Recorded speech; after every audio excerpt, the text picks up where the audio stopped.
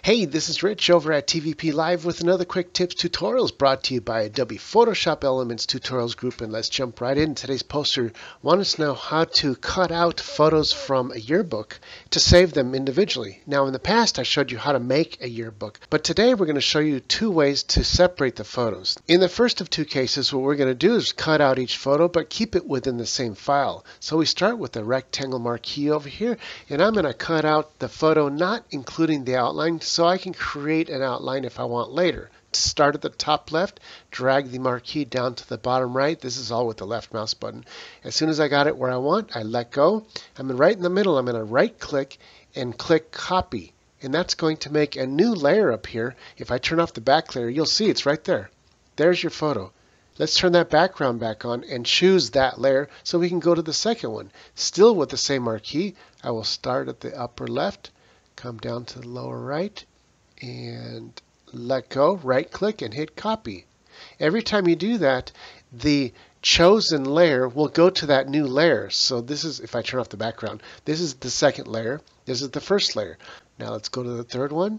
Start at the upper left, come down to the bottom right.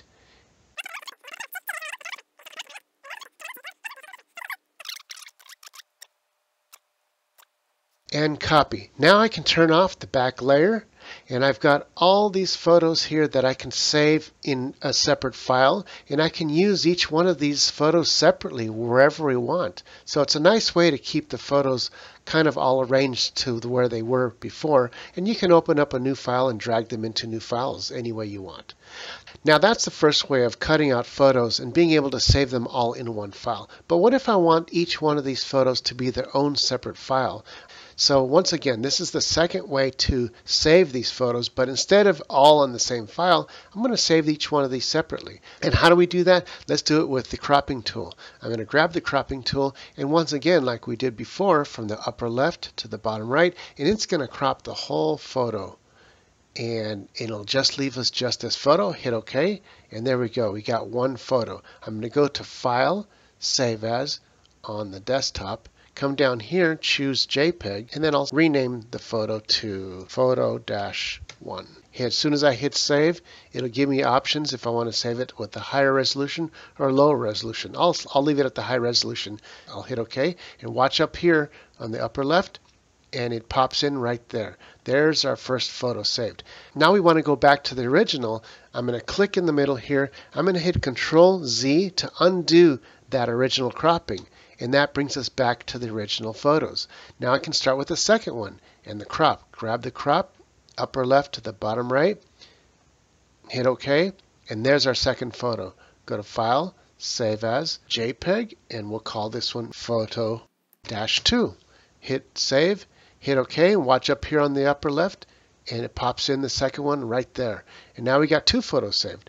Let's go back to the original by hitting Control Z to undo that cropping, grab the cropping tool and go to the third photo.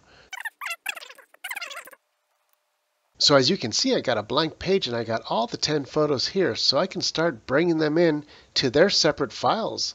Just like that, you just drag them in like that. And each time you'll see it opens up a new file. They can be used individually or they can be dragged into our project one by one by simply left click and drag it into the project. And I'll go to the second one, drag that in, and go to the third one, and so on and so forth. So these can be used anywhere we want. And as you can see, we can introduce each photo separately. And that's it for this tutorial. This is Rich calling it quits, saying over and out.